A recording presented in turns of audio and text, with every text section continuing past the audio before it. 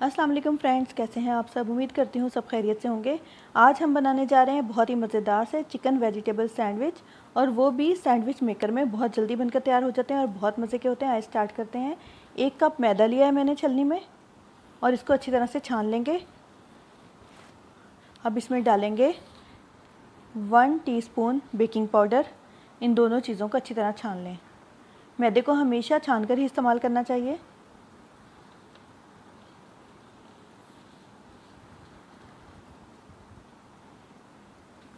इसको छानने के बाद जो मसाले इसमें और डालेंगे, वो मैं आपको बताती हूँ। अब हम इसमें डालेंगे वन टीस्पून नमक या हसब ज़ायका, वन टीस्पून काली मिर्च का पाउडर और कुटी हुई लाल मिर्च वन टीस्पून।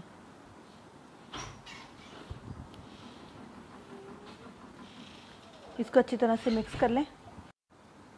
इसके बाद हम इसमें डालेंगे कटी हुई वेजिटेबल्स हाफ़ कप शिमला मिर्च जिसे मैंने बारीक काट लिया है, और हाफ़ कप ही गाजर है बारीक कटी हुई, और हाफ़ कप ही प्याज हैं बारीक कटे हुए, और एक अदद हरी मिर्च है बारीक कटी हुई, और ए हाफ़ कप ही चिकन है हमारे पास जिसे बॉईल किया है काली मिर्च और नमक डाल के, और थोड़े से ऑलिव्स हैं, ये ऑप्शनल है। इन सब चीज़ों को हम इसमें मिक्स कर देंगे।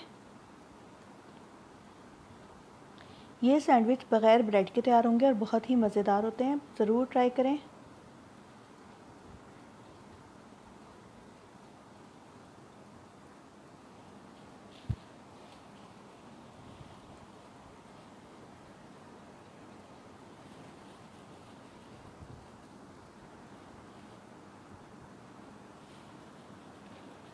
सारी वेजिटेबल और चिकन को मैदे में मिक्स करने के बाद हम इसको अच्छी तरह से मिक्स कर लेंगे।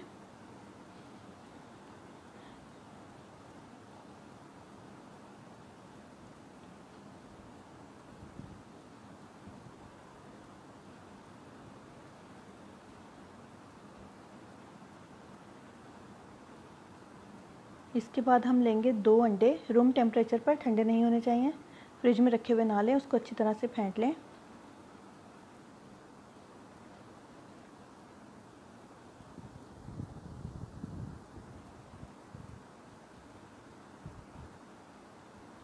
तकरीबन एक मिनट हम इसको अच्छी तरह से फेंट लेंगे।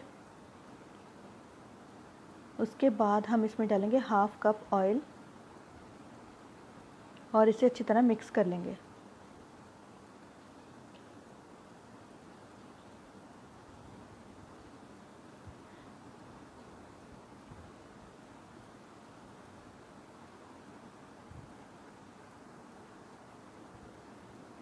मिक्स करने के बाद अंडे और ऑयल को हम मैदे और वेजिटेबल के अंदर मिक्स कर देंगे।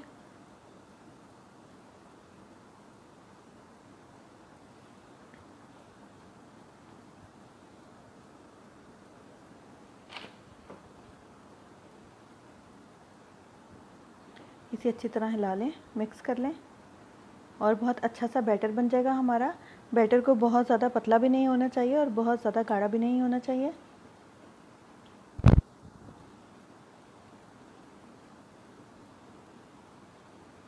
अगर आपका बैटर बहुत ज़्यादा गाढ़ा हो गया हो तो आप इसमें टू से थ्री टेबल स्पून दूध ऐड कर सकते हैं। लेकिन ये हमारा बैटर बिल्कुल ठीक बना है। ना बहुत गाढ़ा है और ना ही बहुत ज़्यादा पतला।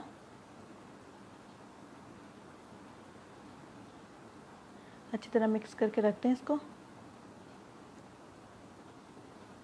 इसके बाद हम सैंडविच मेकर को कुछ देर के लिए ऑन कर देंगे। थोड़ा सा प्री हीट हो जाएगा तकरीबन एक दो मिनट उसके बाद हम इसके अंदर लगाएँगे ऑयल ब्रश की मदद से इसको ऑयल लगा लें। अच्छी तरह से।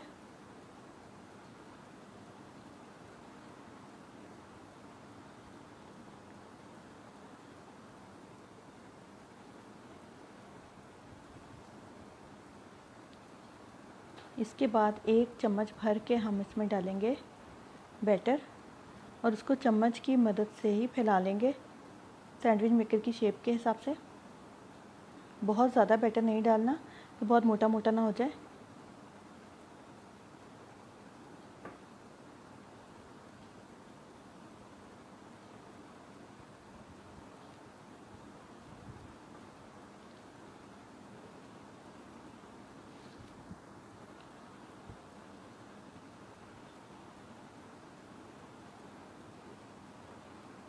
चम्मच से प्रेस करके इसको बैलेंस कर लें।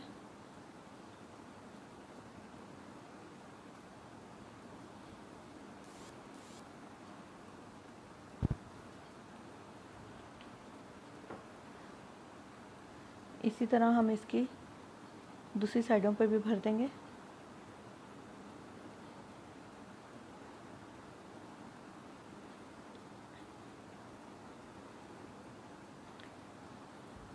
इसके बाद सैंडविच मेकर को बंद कर दें।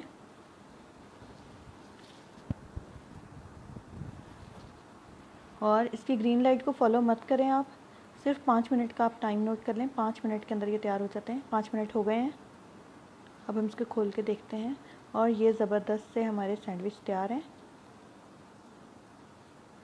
मैं आपको निकाल के दिखाती हूँ। इसकी बैक साइड पे देखें कितना अच्छा कलर आ गया अगर आप चाहते हैं कि इसके फ्रंट वाली साइड पे भी कलर आ जाए, जो कि मुझे बहुत अच्छा लगता है कि उधर भी कलर हो तो इसको आप पलट के एक मिनट के लिए दोबारा रख दें, ताकि इस साइड से भी अच्छी तरह ये कुक हो जाए। वैसे तो ये पक चुके हैं, लेकिन कलर लाने के लिए हम इसे थोड़ी देर के लिए रख देंगे। तो दोनों साइड से बिल्कुल एक जैसे हो जाएँगे।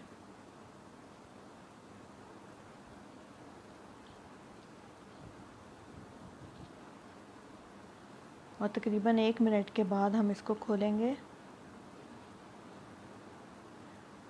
और माशाल्लाह से बहुत अच्छे सैंडविच तैयार हुए हैं। इसके बाद हम गरम गरम के ऊपर ही चीज़ चीज़ के मैंने दो स्लाइस लिए हैं, उसके छोटे छोटे चकोर पीस किए हैं। गरम सैंडविच के ऊपर रख देंगे ताकि अच्छे से मेल्ट हो जाए चीज़। और इसको डेकोरेट करने के लिए आप चाहें तो इसके ऊपर ऑलिव्स भी रख सकते हैं।